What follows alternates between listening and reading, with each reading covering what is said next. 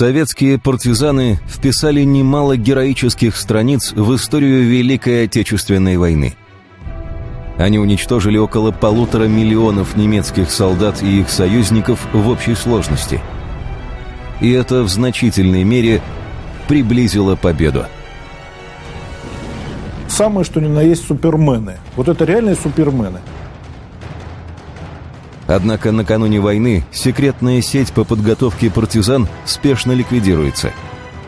Командиры отрядов арестованы. В июне 41-го подпольное движение придется возрождать с нуля. Они горели желанием, в общем-то, бить врага. Но как это делать, зачастую просто-напросто не знали. Так почему же в конце 30-х годов СССР спешно ликвидирует сеть партизанских отрядов? Почему рушится превосходно подготовленная система обороны? Какие тайные силы руководят этим процессом?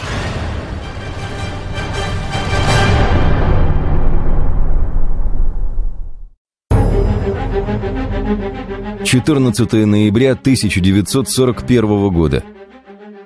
Оккупированный Харьков. В 5 часов утра в центре города слышится взрыв чудовищной силы. Одним махом уничтожено все командование немецкого гарнизона во главе с генералом фон Брауном. Но кто и каким образом совершил эту беспрецедентную диверсию – ведь мина взорвалась прямо в здании штаба. Знающие люди быстро догадываются, автором диверсии может быть только Илья Старинов. Гений взрыва, как его иногда называют. Это э, человек, который, которого называют э, дедом нашего спецназа.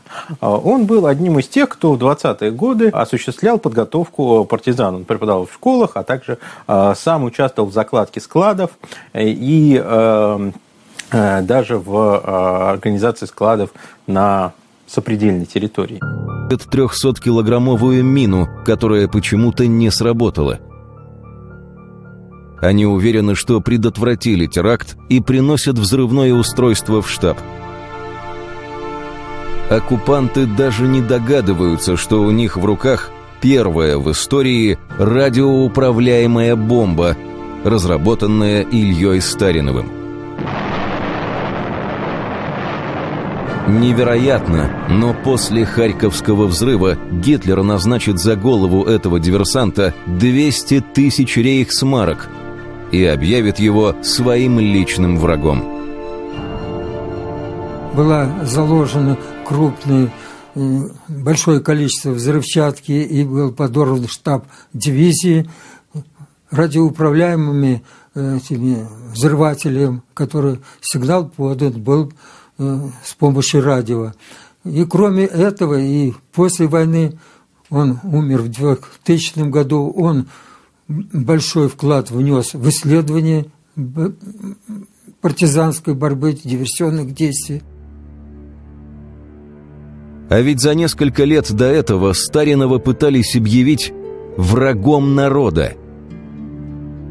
В 1937 году его вызывают в НКВД. Следователь упорно твердит о каком-то заговоре. Четыре часа подряд он задает один и тот же вопрос – для чего Старинов закладывал тайные партизанские базы в 100 километрах от государственной границы. Среди э, предъявлявшихся обвинением э, моментов э, была также закладка складов э, с оружием тех самых, которые, в закладке которых э, участвовал Сталинов. И Сталин к тому времени как раз вернулся из Испании, где воевал, и, а, судя по всему, именно этот момент ему и инкриминировали. Действительно, по приказу наркома обороны Климента Ворошилова Старинов участвует в создании партизанских баз на территории СССР. С начала 1920-х силами НКВД закладываются тайники с оружием и тренируются диверсионные отряды – случае захвата советских территорий все это будет использовано для организации движения сопротивления. Людей э, готовили э, специфическим предметом э, партизанской тактики, тактики и техники диверсий, э, боевым действиям, организаторским действиям. В случае войны они должны были взять оружие из специально заложенных тайных складов и перейти к боевым действиям. Но почему же те, кто выполнял приказ наркома, вдруг превратились в преступников? Почему рушится превосходно подготовленная система обороны? Как бы там ни было, отсутствие специальных баз и руководителей партизанских отрядов еще сыграет свою отрицательную роль в самом начале войны –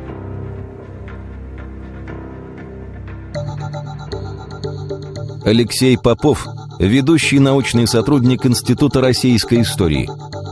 Изучает проблемы партизанского движения в годы Великой Отечественной войны. Действительно, на 1941 год э, получилась такая ситуация, что наша страна богатая, в общем-то, на такое явление, как партизанские войны, да, начиная с войны 12 года, начиная там Дениса Давыдова там, и так далее, э, в общем-то, оказалась в довольно-таки неподготовленной ситуации. Этим не применут воспользоваться немцы. С начала войны они создают специальные отряды, состоящие из коллаборационистов.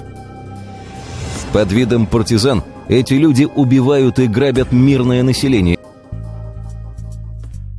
Александр Михайлов, генерал-майор ФСБ в отставке.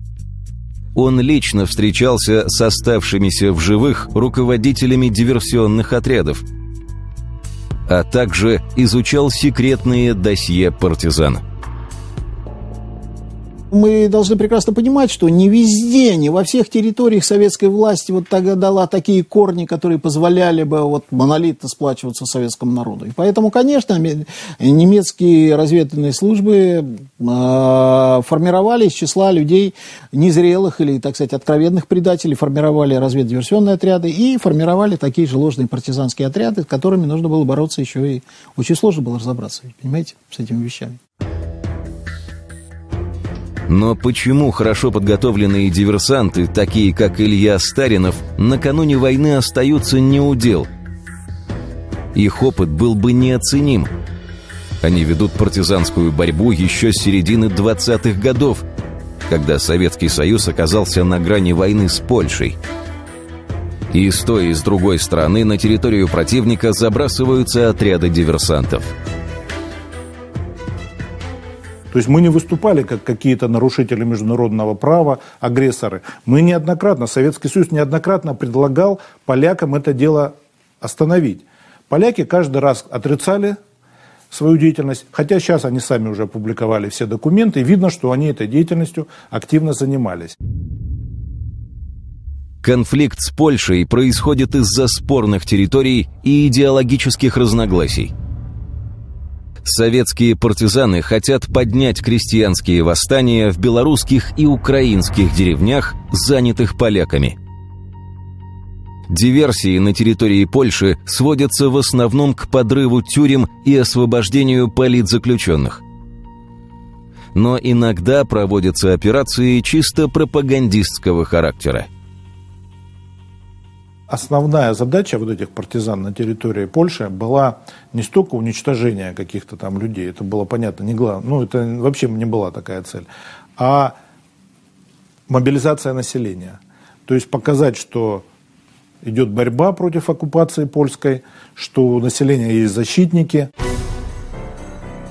Как-то раз советские диверсанты во главе с легендарным командиром Кириллом Орловским – останавливают поезд крупного польского воеводы. Раздев чиновника и его охрану до нога, налетчики высекают их плетьми. А после этого с миром отпускают. И в газете «Польская центральная» была написана статья с издевательским названием «Голый факт». голый факт, потому что они догола раздели этих всех офицеров и руководителей. Причем, что всех поразило, что оказалось, там было много вооруженных офицеров, там что-то около 30 человек. А, и они не оказали сопротивления. Начиная с середины 20-х годов в Советском Союзе идет подготовка населения к подпольной деятельности. В 1933 году на кондитерской фабрике «Большевик» появляется первый в стране парашютный отряд. Для молодежи создаются аэроклубы, стрельбища, кружки радистов. Наиболее способных немедленно вербуют в органы – к началу 30-х молодая Советская Республика все еще плохо вооружена. И в случае нападения ее должны защитить рядовые студенты, портнихи, кондитеры. В предвоенные годы широкая деятельность была, в том числе авиахим, вот это вот, это общество содействия обороны – строительство авиации и химических войск, вот это вот. И там проходили подготовку, первичную, можно сказать, подготовку. Они были предназначены, это общество, для э, вооружения военными знаниями большое количество местного населения, молодежи и так дальше. Были организованы и кружки стрелковые, и там э, артиллерийские и другие. Часто под видом инструктора какого-нибудь кружка скрывается особист. Один из таких – легендарный диверсант Василий Корж.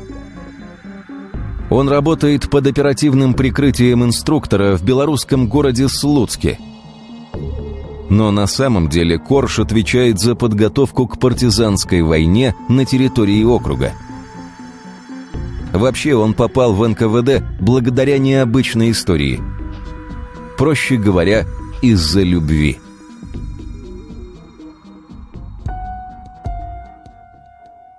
Светлана Орловская – дочь знаменитого диверсанта Кирилла Орловского. Именно в его отряде служил Василий Корж.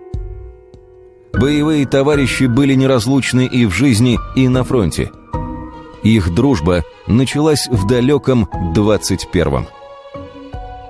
Отец э, э, в гражданскую войну, у него там была тоже бригада, группа, э, которая переходила, тогда же Белоруссия была разделена, западная входила в Польшу, а, а восточная в Советский Союз.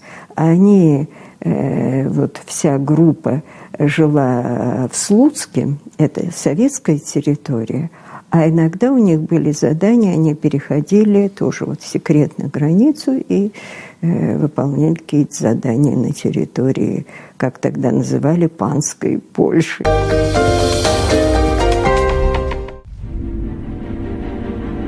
Однажды в отряд Орловского просится молодой человек по имени Василий Корж – он родился в белорусской деревне, которая входила тогда в состав Польши. Он был моложе отца, если я не ошибаюсь, на 4 года. Молодой, совсем еще парнишка, из бедных крестьян. И он полюбил э, девушку, э, у которого были богатые крестьяне, родители. И пришел посватать ее. А Отец сказал, ты голь нищета, и дочку свою я тебе не отдам никогда. И тогда Корж принимает решение бежать на территорию Советской Белоруссии. Там ему не укажут на дверь из-за того, что он беден. И там не будет польских панов, которых он успел возненавидеть. Однако перед этим Корж решается на отчаянный шаг. Как-то ночью он стучится в окно своей любимой девушки. И Василий заглянул в окно и сказал, давай вылезай в окно, и мы поедем с тобой э, сове э, на советскую территорию, и там э, поженимся. Вот. Я, говорит, очень была расстроена, когда, говорит, отец запре запретил мне выходить замуж. А она тоже, я надеюсь, любила Василия Захаровича, и она э, быстренько собралась, и это крестьянский был дом, одноэтажный, в окошко вылезла и убежала. Василий Корж и Кирилл Орловский – настоящие пионеры партизанского движения. В 20-е и 30-е годы они создают диверсионные отряды и грамотно ими руководят. Так почему же перед войной эти формирования начинают ликвидировать?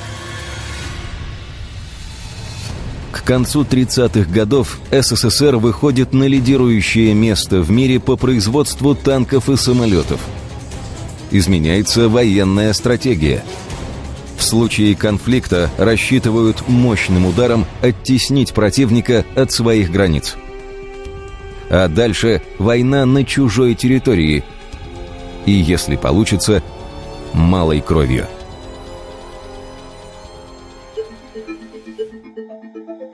Историк Андрей Мартынов интересуется событиями Великой Отечественной войны, в том числе партизанским движением.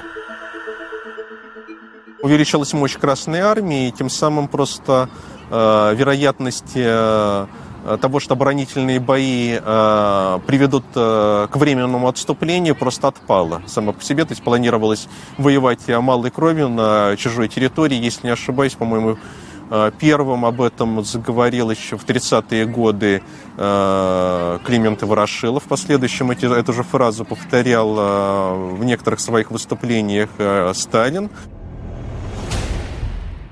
Стране теперь есть чем защищаться. Да и какая уважающая себя армия захочет сражаться на собственной территории? К границам СССР стягивается мощное вооружение – необходимость в партизанах, казалось бы, отпадает. И сеть отрядов начинают ликвидировать. Очень хорошо Сталин сказал по поводу вот вообще вот этой партизанщины. Когда разбирались итоги советско-финской войны, там начальник ГРУ э, Проскуров, Э, руководителя вот этого всего спецназовского диверсионного направления, пятого отдела ГРУ, Мамсуров, знаменитый генерал, они там все рассказывали, что-то там они там а, рейд, там напали на штаб, там то все. Сталин говорит, слушайте, что вы мне тут эти фокусы свои рассказываете? Разве эти фокусами войну кто-то выиграл?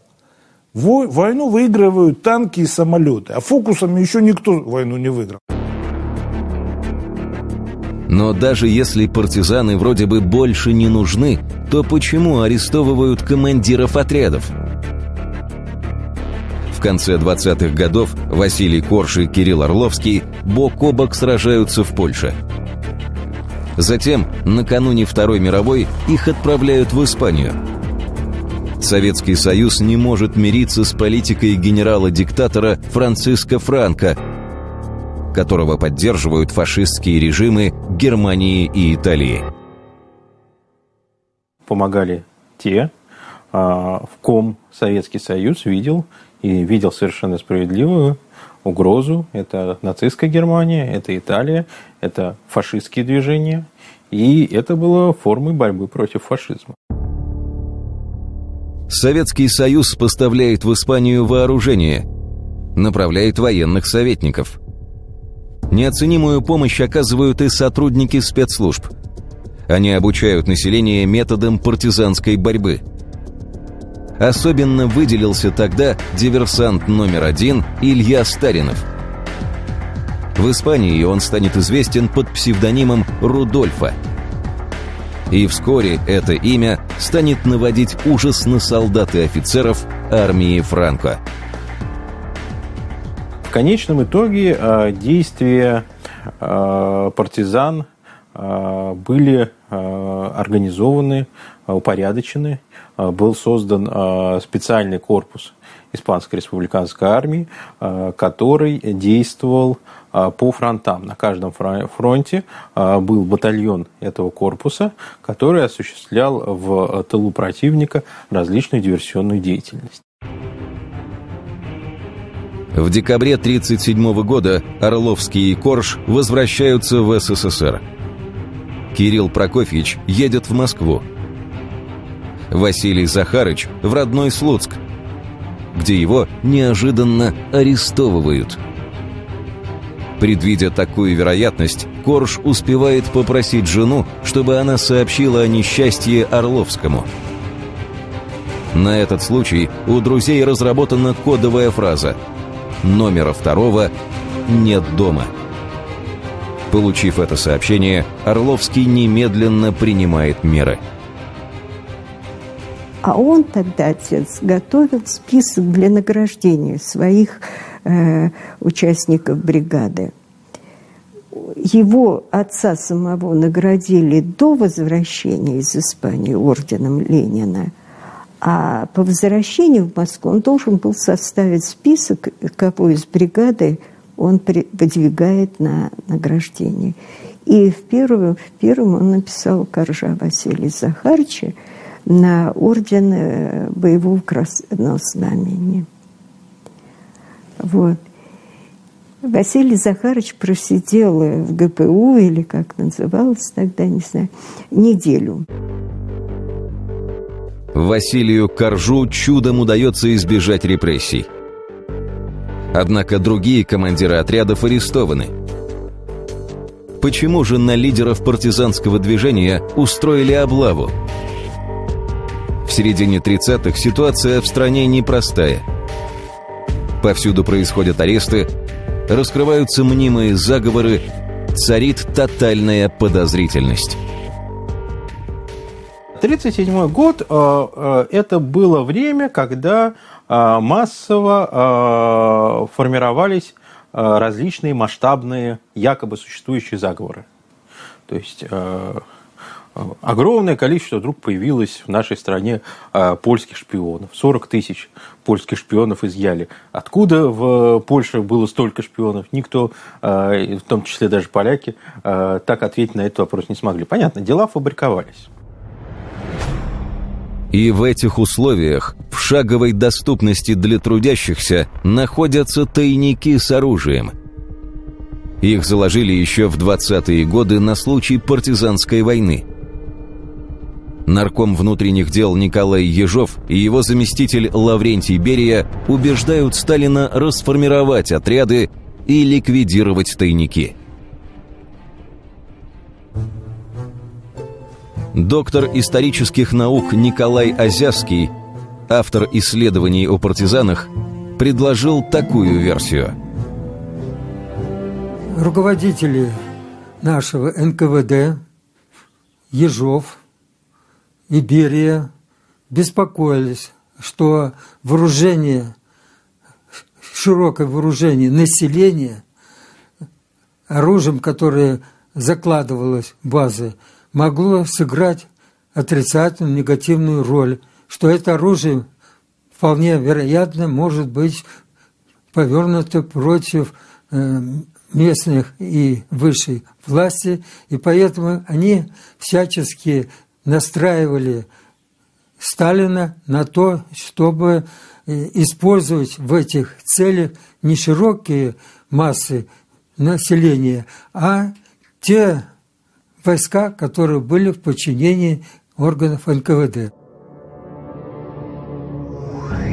Однако и эта версия не объясняет, почему арестовывают героев партизанской войны в Испании – Впрочем, есть и другие предположения. Руководители диверсионных отрядов могли, что называется, попасть под раздачу после раскрытия так называемого «заговора военных». В результате репрессий высшего командного состава Красной Армии, связанного с так называемым военно-фашистским заговором, то есть в результате которого был, были репрессированы Тухачевский и ряд других маршалов, э, э, произошли аресты э, высшего командного состава, которое курировало партизанское движение, и тем самым произошло вот его свертывание. С этими событиями чаще всего связывают имена крупных советских военачальников Михаила Тухачевского, Ионы Якира и Иеронима Убаревича. В июне 37-го все они были казнены по делу о заговоре военных. О причинах опалы этих выдающихся командармов историки спорят по сей день. 17 года боялись бонапартизма. В общем, Тухачевского в бонапартизме и обвинили. А поскольку большевики, ну вот такие дореволюционные, в том числе и Иосиф Сталин, они были воспитаны французской революцией, которая закончилась тем, что французская революция свернул в трубочку Наполеон. И предполагалось, что такое же может произойти в революционной России, а, что появится Наполеон некий, который э, вот все это свернет. И явный кандидат Наполеона был, в общем, один. Это был Тухачевский. Что и говорить, авторитет молодых командармов внушает страх старой гвардии. В Красной армии появилась новая элита с большими политическими амбициями. Что, если они задумают совершить антибольшевистский переворот? Хотим мы того или нет, но э, мы должны понимать, что вот такая вот э, ощущение себя представителем мощной силы за спиной тобой, твоей, а, за твоей спиной стоит округ, армия, дивизии, там, корпус и так далее, и так далее, безусловно, а, безусловно, очень часто вот эти представители молодой, молодого поколения, тем более, которые прошли еще там через Хелхингол, они себя ощущали совершенно иначе. И для Сталина они представляли определенную угрозу. Как бы там ни было, суд над крупными военачальниками повлечет за собой волну арестов. Пострадают и руководители диверсионных отрядов. Оказывается, и Якир, и Убаревич весьма интересовались партизанским движением. Так может быть, все эти события и подписали отрядом смертный приговор – А Якир, он э, очень интересовался партизанским движением, он э, лично инспектировал различные базы, об этом вспоминает в своих воспоминаниях э, Илья Григорьевич Стариков, который с ним просто лично общался, он был свидетелем, как, например, Якир, инспектируя ту или иную часть, говорил, что вот здесь плохая, у вас плохая маскировка, нужно вот ее переменить. Получается, руководителей диверсионных отрядов, что называется, пустили в расход за связь с врагами народа. Однако с таким мнением согласны далеко не все исследователи. Я не думаю, что э, Э, э, что репрессии против э, партизан были связаны с так называемым заговором военных. Это была отдельная вещь, которая не увязывалась ни с репрессиями против Якира, Убаревича, Тухачевского. Это была совершенно другая вещь. Просто э, мемуаристы э, впоследствии, ну, тот же Сталин, связывали эти события. На мой взгляд, как э, историка, э, эти э, вещи не связаны. В то же время, далеко не все историки считают, что руководители партизанских отрядов подверглись массовым репрессиям.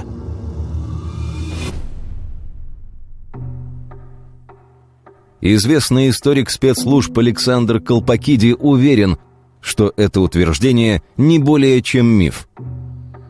Во всяком случае, вот о чем свидетельствуют цифры. Вот возьмем, например, Белоруссию, где мы имеем данные. Шесть округов. Ну и, соответственно, шесть офицеров их возглавляли. Вот пятеро из них герои Советского Союза, командовали частями подразделений партизан в годы Великой Отечественной войны. Один исчез. Вот я его нигде не могу найти. Но его нет среди расстрелянных. Куда он делся, неизвестно. Скорее всего, конечно, его расстреляли. Но он почему-то не попал в расстрельные списки. Поэтому а вот Э, масштаб репрессий мы можем примерно оценить.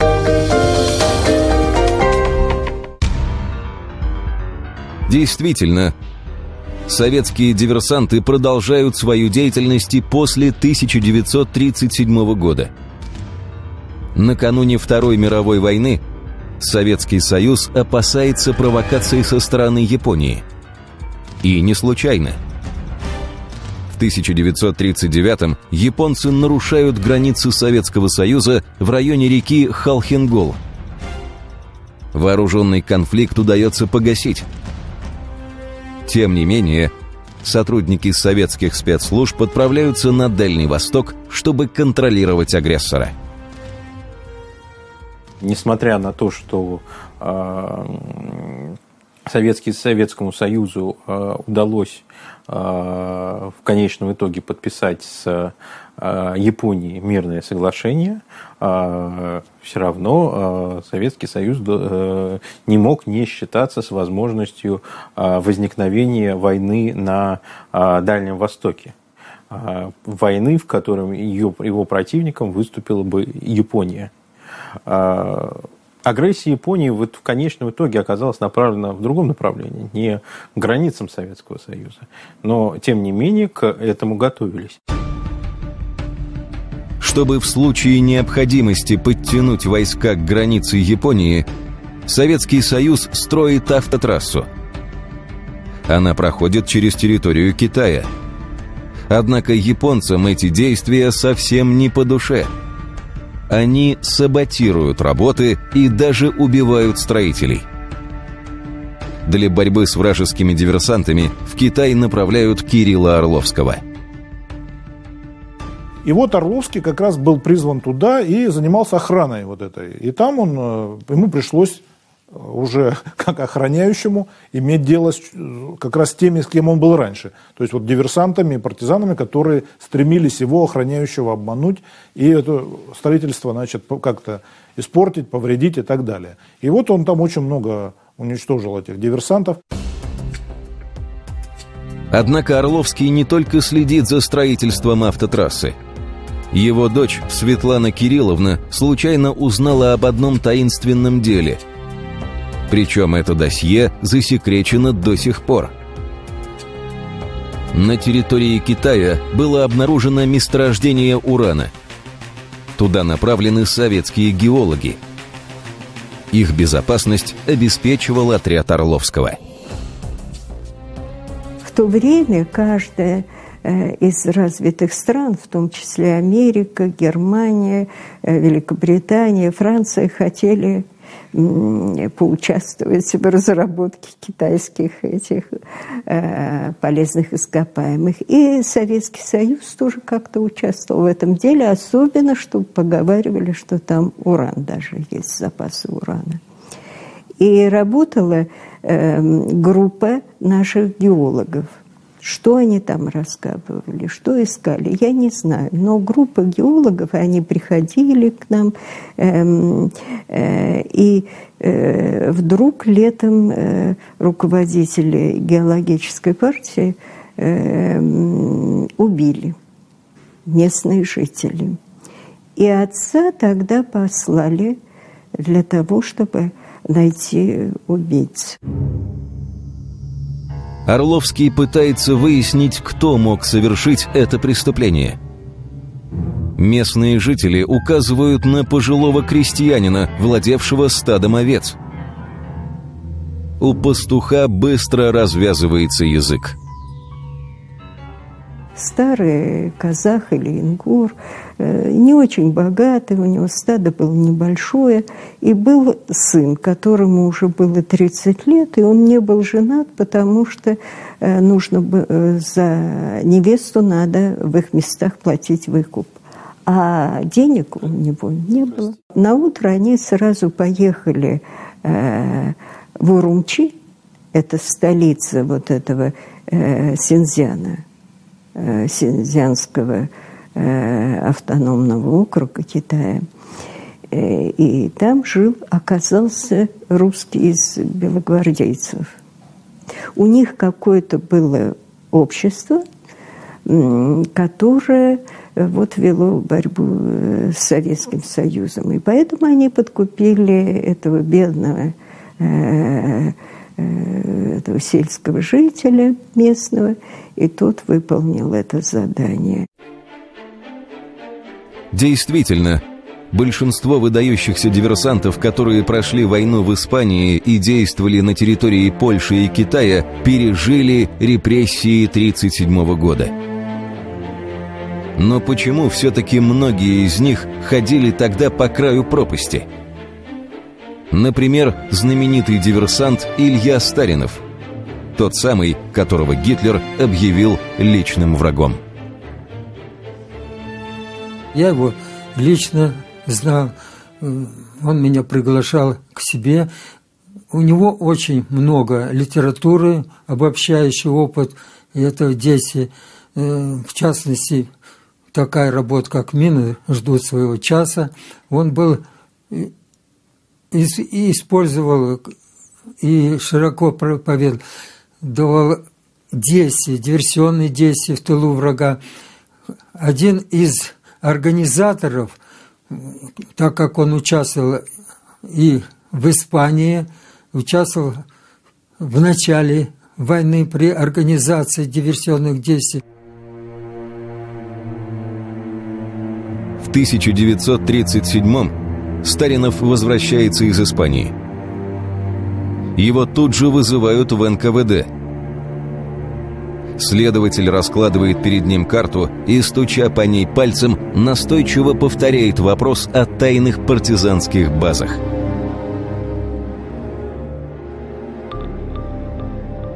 Историк Александр Дюков – правнук знаменитого диверсанта Ильи Старинова – Именно поэтому он оперирует фактами, о которых почти никто не знает. Рано или поздно э, органы НКВД, проводившие репрессии, наткнулись на страшное. Они наткнулись на заговор. Э, заговор – это был заговор, э, его потом окрестили заговором старых партизан. Оказывается, эти старые партизаны, видимо, с антисоветскими целями, а, создавали а, подпольные партизанские ячейки и отряды, а также закладывали склады с оружием. Разумеется, никакого заговора не было. Люди действительно создавали склады с оружием, но по приказу Центрального комитета по подготовке к партизанской борьбе. Вероятно, со временем следователи поняли свою ошибку – но признать ее не решились. И поэтому сфабриковали так называемое «дело старых партизан». То есть, на самом деле, разоблачено было то, что э, на самом деле делалось. Но э, когда, видимо, те люди, которые начинали разоблачение этого заговора, э, заговора в кавычках, они не были осведомлены о том, что происходило. Или, может, были осведомлены, но хотели выслужиться. Но чем же закончился допрос Старинова? Неужели и его арестуют по этому липовому делу? Диверсанту остается одно. Прямиком идти к наркому обороны Клименту Ворошилову. Это по его указанию закладывались базы – к счастью, нарком соглашается принять героя. Выслушав Илью Григорьевича, Ворошилов поднимает телефонную трубку и просит следователя оставить заслуженного человека в покое. Только это и спасет Старинова. Что же станет с остальными участниками дела? В 1937-1938 году был э, сфабрикован э, сфабриковано большое дело, правда не публичное, но тем не менее, по которому прошло очень много людей, э, дело старых партизан. Э, соответственно, склады были ликвидированы, э, множество людей было арестовано по этому заговору, и, э, что характерно, созналось в этом заговоре – потому что действительно все так оно и было, за исключением знака. А, и э, на долгое время э, вся подготовленная в конце 20-х годов система а, оказалась дезорганизована. Затем на базе этой особой группы был создан второй отдел осенью 1941 года. И в январе, 18 января 1942 года было создано знаменитое четвертое управление НКВД, который возглавил, возглавил генерал Судоплатов. Вот. Это разведно-диверсионная, контрразведывательная деятельность на оккупированной территории и специальная операция. Тем не менее, главная заслуга в возрождении партизанского движения принадлежит опытным диверсантам Василию Коржу, Кириллу Орловскому, Илье Старинову. Уже 28 июня 1941 года в районе деревни Посеничи дан первый бой партизанского отряда, который сформировал и возглавил Василий Корж. И э, надо же сказать, что во время э, Великой Отечественной войны э, отряд Коржа это был один из самых западных отрядов партизанских советских, которые действовали на территории Беларуси. То есть он действовал э, на той территории, э, которая еще недавно была польской, где в принципе работать партизанам было не очень комфортно. Э, и он там работал, он это умел делать, у него был огромный опыт. Как изменился бы ход истории, если бы партизанское движение не было подорвано? Об этом сегодня можно только спорить. Ясно одно. Если бы отряды не были ликвидированы, патриотам в первые дни и месяцы войны было бы значительно легче сплотиться для борьбы с захватчиком. Но также ясно и то, что этих людей все равно было бы слишком мало для того, чтобы остановить наступавшие гитлеровские армады. Дело в том, что во время войны понадобились новые формы партизанского движения. Никто не ожидал, что война принят такой масштабный характер. Это ну, вообще никто в мире не мог предположить. Поэтому тут уже в партизанском движении оказались сотни тысяч людей. И, конечно, даже если бы начиная с 1934 года, не сворачивали эту работу, все равно такого количества обученных людей не было бы. Вот основные версии, которые объясняют, почему накануне войны партизанские отряды были ликвидированы. Счастью, судьба сохранила жизни опытным и невероятно отважным командирам диверсионных отрядов. Василий Корж – Кирилл Орловский, Илья Старинов. Это они смогли возродить партизанское движение. Обучить население хитростям спецслужб и поднять его на борьбу с врагом.